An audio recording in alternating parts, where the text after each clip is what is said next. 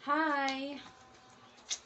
Ipapakita ko sa inyo kung paano gumawa ng mag bamboo handicrafts. So, bago yon tayo ay mga ngailangan ng mga kagamitan upang magawa natin ang mag bamboo handicrafts. Kagamitan ang ating kakailanganin. Unang-una doon ay stick glue. Hmm. Pangalawa ay glue gun.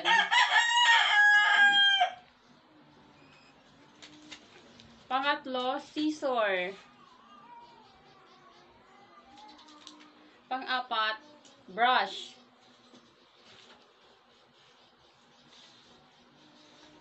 Panglima, varnish.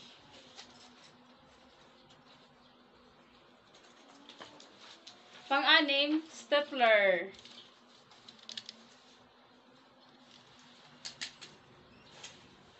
Pang-pito, bamboo. Bamboo.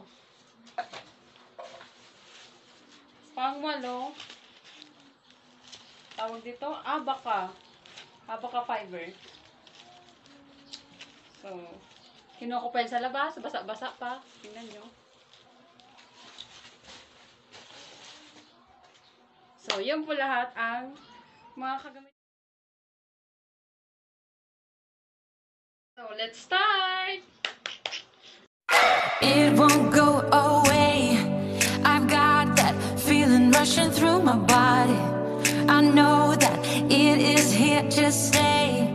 It's like you're my personal Illuminati.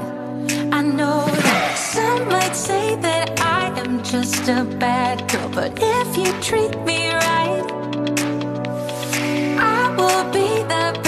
girl in this whole world. No, I'm not gonna fight. I got my hands on your body.